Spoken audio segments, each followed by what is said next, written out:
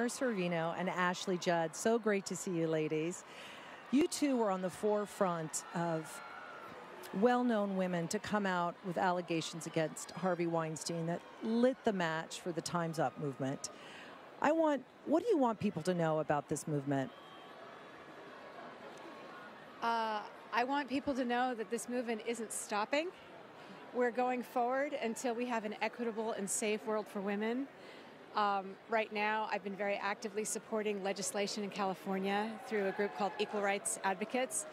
Um, there's a there's a hashtag take the lead and you can sign their petition and it's the strongest suite of bills against sexual harassment anywhere in the country and so we want to take our activism and our power into action and change things for every woman everywhere working in any workplace and ashley what made you finally have the strength to come forward well, you can understand why I deferred that question to Mira.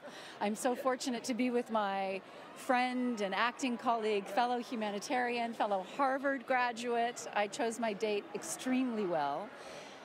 I was, you know, I started telling the story about what happened to me when Harvey Weinstein sexually harassed me in 1997, the moment that it happened, because I was very fortunate that my dad was with me on that day. And when I emerged from the hotel room, he said he could tell by the look on my face that something devastating had happened. And what's so spectacular about this moment is that finally the world is able to hear, because I believe that we women, one, our voices have been squelched, and then number two, those of us who have come forward, we've often been disbelieved, minimized, shamed, and so much of the movement is about externalizing that shame and putting it back where it belongs, which is with the perpetrator, and us being the phoenixes who can light the way, as Mira said, not only within Hollywood, but for safe and equitable workplaces across all spaces and all sectors. And I would mention that the Time's Up Legal Defense Fund has over 20,000 folks who've donated, raising over $21 million.